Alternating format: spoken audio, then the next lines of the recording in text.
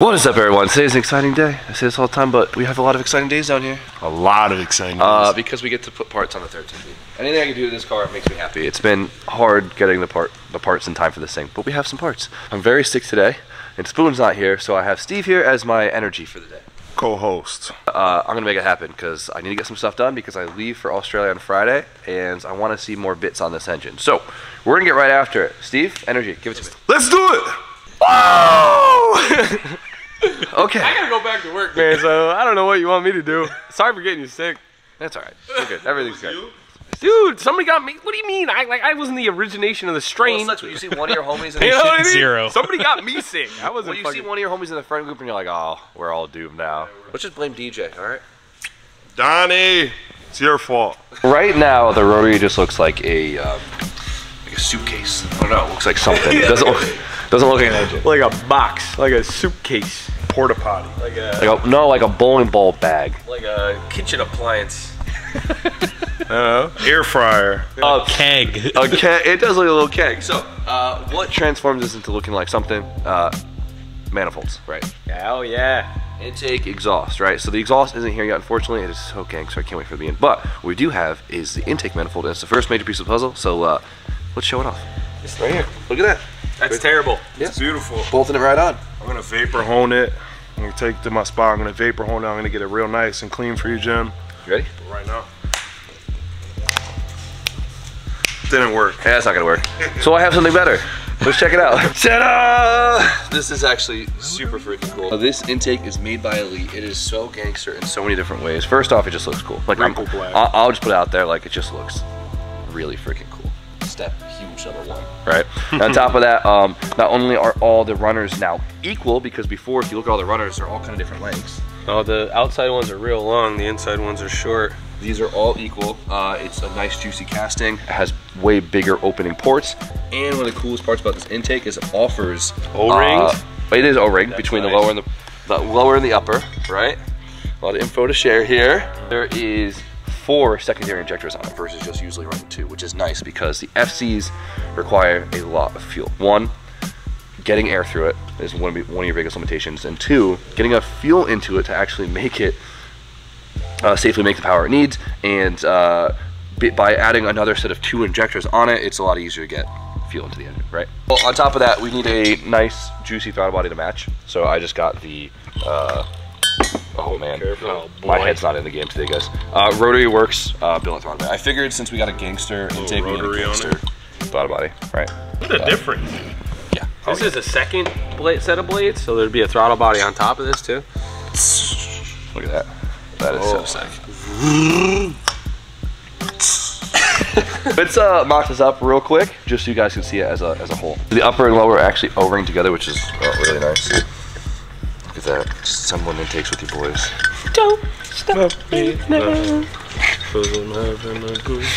This is gonna make the thing look so freaking cool. Before we start setting up the fuel rail and everything else, I just want to get the throttle body on it real quick, just to see what it looks like on the engine. A Little before and after. You know. I mean, at least the RW one still does look a lot cooler than the S4, S5 one. That just needs some love. It's kind of crusty. The black one has more girth, I noticed. Yeah, way bigger runners. It's usually how it goes, bro. The moment everyone's been waiting for. this is the fun, like, instant gratification of it. There you go. Boom. Look at that. Now it looks like a kitchen appliance with a really cool intake.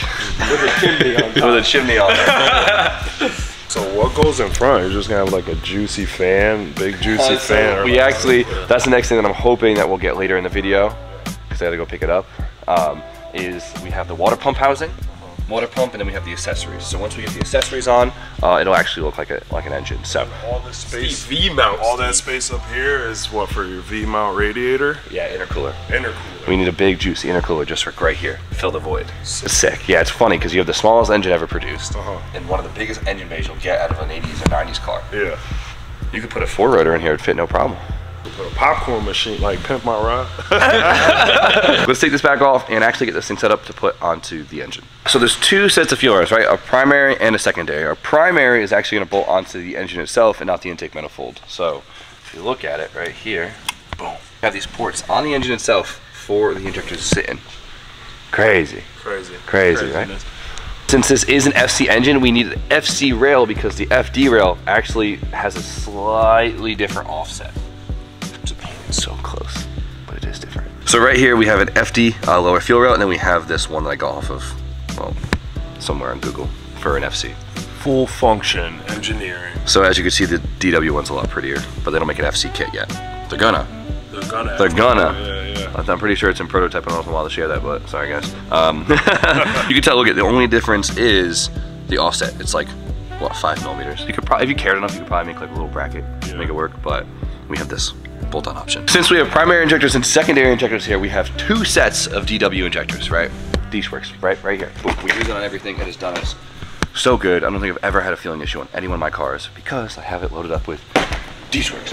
King injector size. How do you do it? Oh, it's such a mess. I don't know what I want. Uh, honestly, DW has a really accurate fuel injector calculator on their website. If you want to check it out, just Google fuel injector calculator. It'll come up, and you can put in desired power off of what fuel, what engine, and uh, your max duty, max injector duty cycle. And it's a really good baseline. But for this, I'm gonna be around 500 horsepower, right? Or that's my peak. I want max 500 horsepower on ethanol. That's kind of like the limitation to these housings too, right?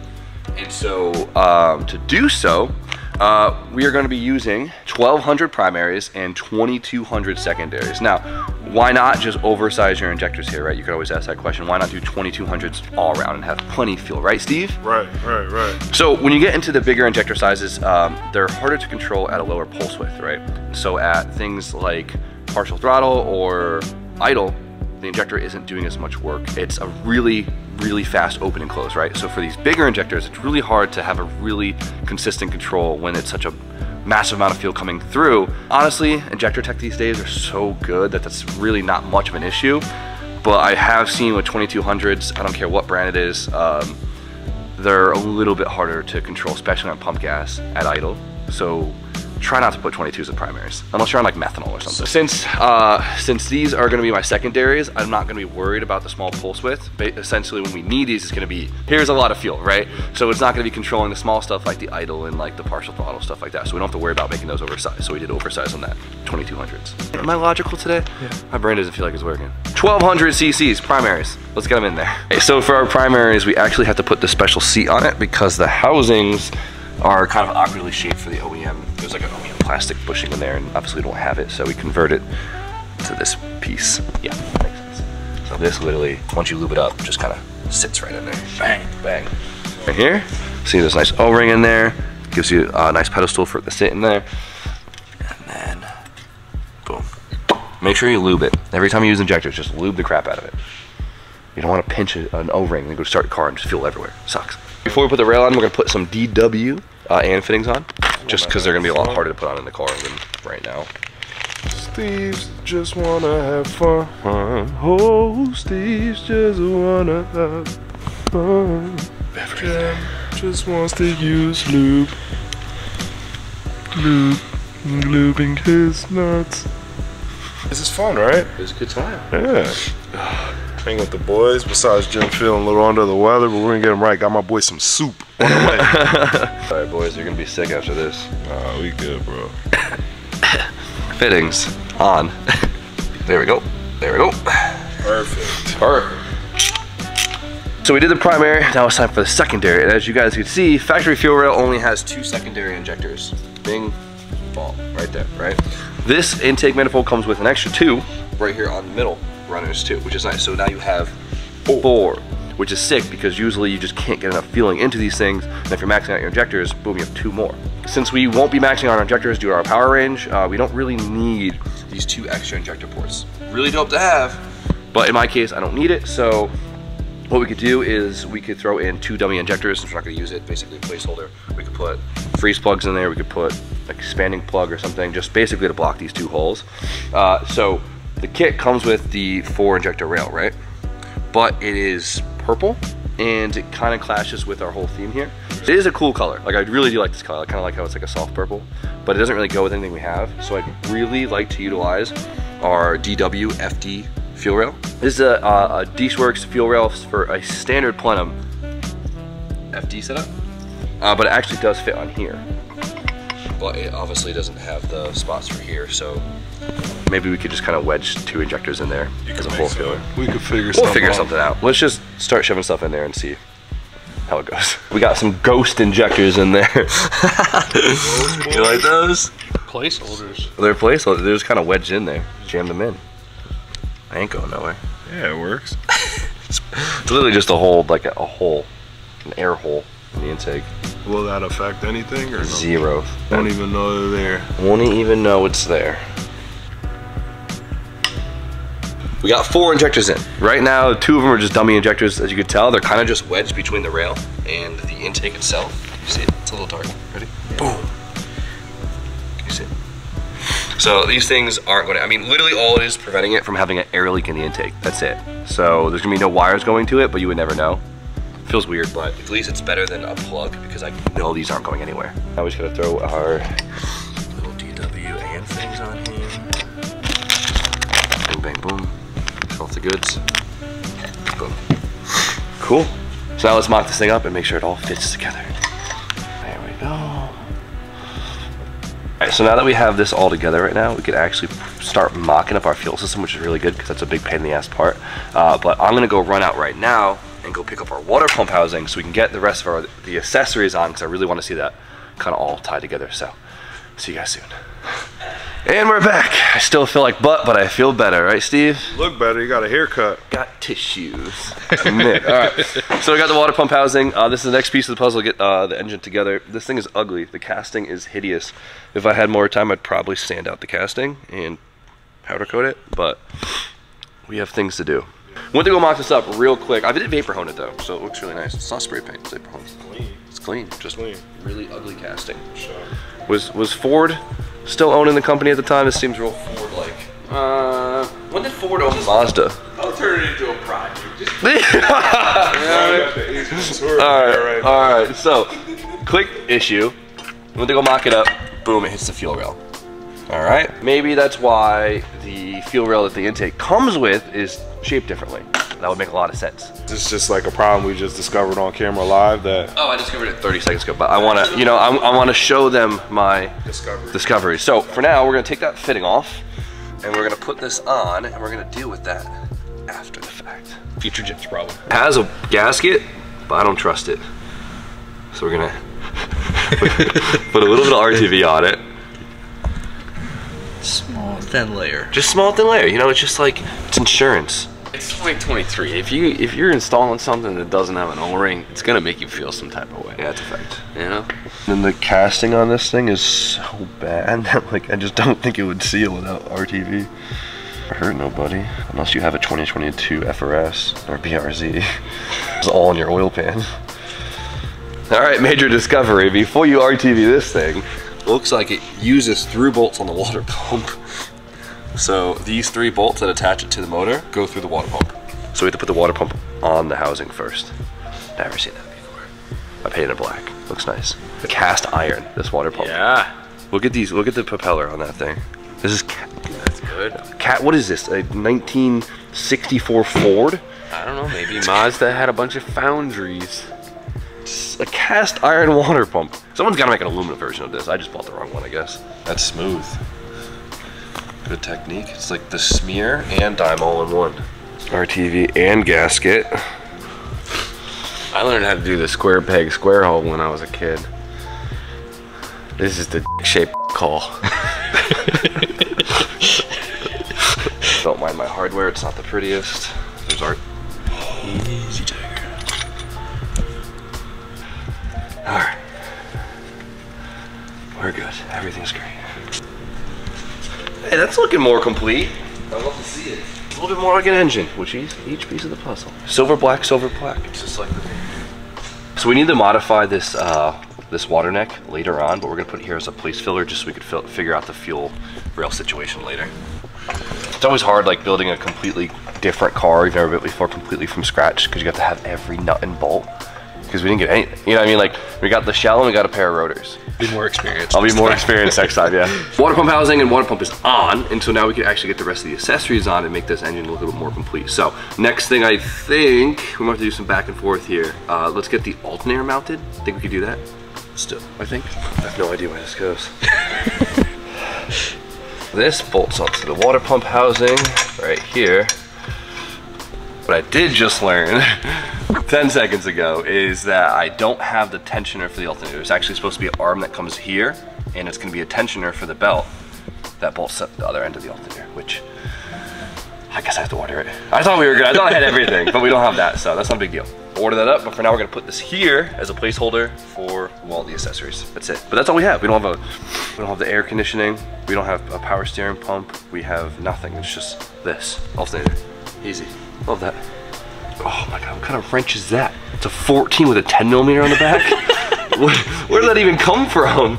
But what I did forget to mention that this is actually an FD alternator, uh, which is nice for two reasons. Usually the, or actually three. They're easier to get, right? You can buy these at the auto parts store, easier than an FC alternator. Two, they usually have higher amperage, which is really nice, right?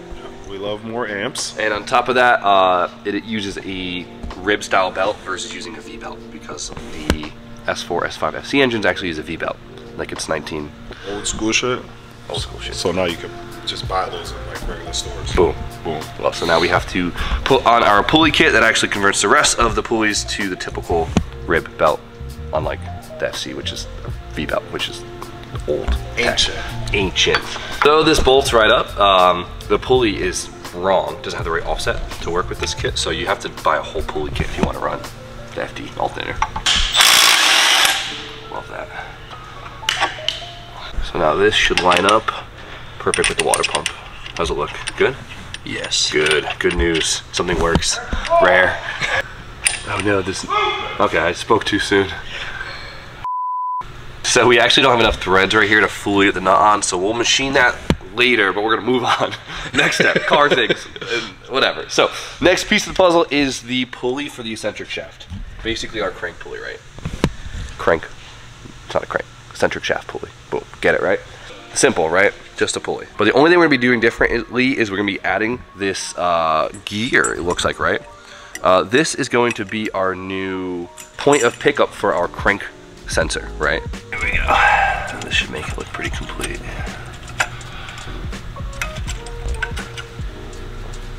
Boom, that looks sick. It's looking like something. That looks like a real mechanical vacuum cleaner.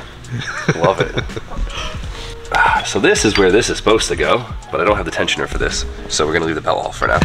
But that's it, that's all we have for water pump, alternator, uh, eccentric pulley. Simplistic. Simplistic, I love it. The next step is dealing with this, right? This is the last bit of tape we have here, right? So what goes here, Steven? What does go there? I don't know. Originally, there's this big sensor that goes all the way down on a gear and it picks up and it's actually your crank sensor. Citric Uh, sensor? Uh, what'd I say? Crank. Sensor. Eccentric shaft sensor? Yeah. Engine position sensor.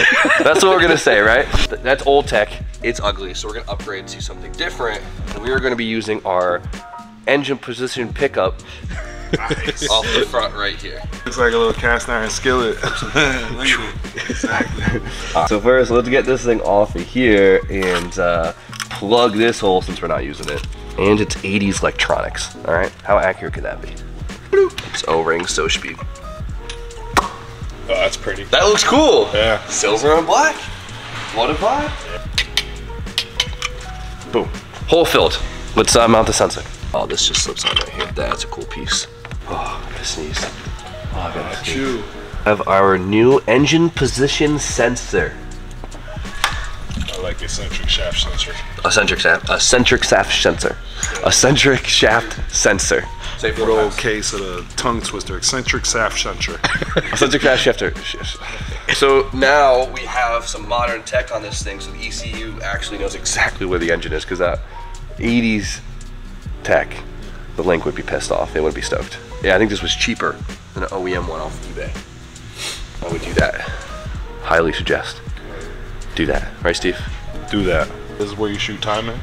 That thing. That's that, that's how the engine knows where it is now. See all the teeth that moves by it, Yeah. and then see how there's a big gap here. Mm-hmm. It, it knows where position is based off that big gap. that measurement. After that. Yeah, yeah. Math. Let him cook. Just found out these are studs, which is sick. They look a lot better without them. Now we just bolted in. Yeah, that looks a lot nicer. Big fan of that. So the engine's looking pretty complete. Uh, I love to see it. Uh, for now, the big thing we're waiting on is the exhaust manifold to get the turbo on and start running all of that. And then of course we also have to finish up the fuel system, which we did find out the standard rail doesn't fit because it gets too close to this. But of course the, the intake came with a, uh, its own rail, which I believe sits higher, which is out of the way. And uh, the only reason why we didn't use it, it's a really beautiful rail, uh, is the fact that it's purple and it just kind of, I mean, it would look cool. I mean, like, be a nice accent piece. Like, I don't hate it, but it's just kind of clashes with our theme here. Before we let you, let you guys go for the day, uh, Steve learned a, a new uh, trick that he wants to try out before we leave your cell. I'm gonna call it a mod. Let's do it. Let's go, science. So the trick to this is uh, it's not actually paint. So it's not like regular removing paint. And for some reason, this one brand of oven cleaner just cooks. I don't know, it just cooks the best, apparently, right? Got the stuff in it. It, it's it's just pretty gnarly stuff. Guys, be careful with this stuff if you're gonna if you do this at home. You get this on your skin, not a good time. Keep away from the kids. Clean the hell out of your oven though. Clean the hell out of your oven and uh, get some anodizing off of this. Uh, Jim, what do you say? I'm just gonna let it cook real quick. Yeah, yeah, blow that thing up. It's so nice looking that I feel bad doing this, but um, It's just the purple, guys. The rail is beautiful. Honestly, it's just we're Not not, purple guy. we're not running purple, so like a lot, Steve. a lot. Yeah. Oh, look at it already just dripping off. Is it really? That's coming right off. Holy shit. Usually it takes a little bit longer. Hold on. That's all right, like all right, let us sit for a little bit. instant, bro. That's fine. That's That's crazy. that's how uh, they, they, they sell that in the store without a warning on it. like, Oh, be careful. Yeah, look at it. It's falling off. wow. That's pretty. That's wild. That's some toxic shit. Don't get it on your skin, Steve. Yeah, I'm gonna get some gloves, but I love this mod already. I've used this stuff before, but I've never seen it actually. Look at. Holy that fa- shit. We'll like take it off that fast. That's pretty gnarly. You gotta be careful though because it does stain the aluminum underneath. You can see it. See how it's all stained? Just because it's, I mean, it's like chemically etching it. So if you do use this to remove anodization off of like, you know, a lot of times you'll get like cheap AN fittings and stuff and you want to take it off. Um, but you're gonna have to kind of almost polish it afterwards because look at it. Kind of does stain it.